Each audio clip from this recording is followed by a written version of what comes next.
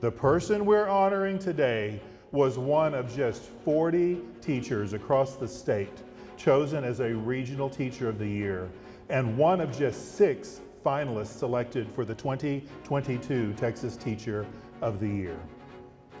Ramon Benavides was selected as the 2022 Texas Secondary Teacher of the Year, but his official title is 2022 Texas Teacher of the Year.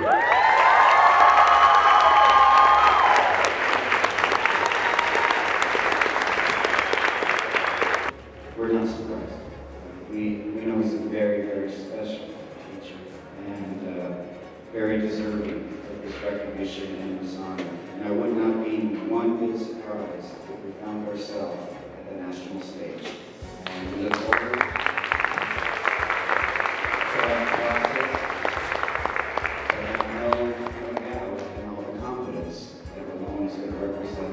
this school district, this community, and this state uh, in exemplary fashion. Congratulations, gentlemen.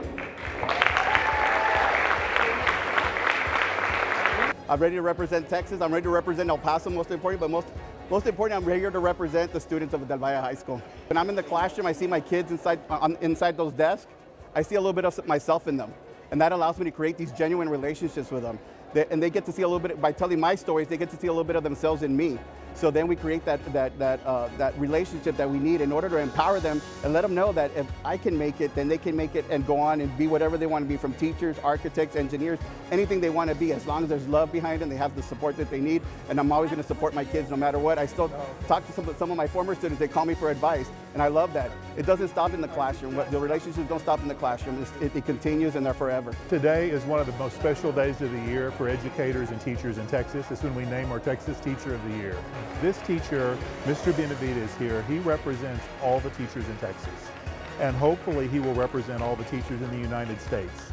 He will be moving on to a, a, national competition where all 50 states bring their teachers of the year together to select the national teacher of the year. So it's very special. He gets access to meetings, conferences. He will get to speak at different events, meet with educational leaders, elected officials, policymakers to, to voice the needs, concerns of teachers in our state. He'll, and he'll be recognized in many different places. Mr. Benavides is very caring. He is, um, like I said, he makes you laugh. He makes the lesson fun.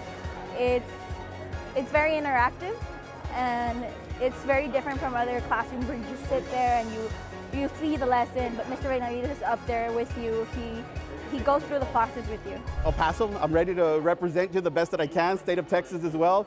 I love what I do. I know it sounds cliche, but I, I truly do. And it's all like I said, empowering our kids and empowering our teachers because this pandemic turned the, turned the education system upside down. But somehow, some way, we laced up our shoelaces, we tightened up our shoelaces, and we went at it.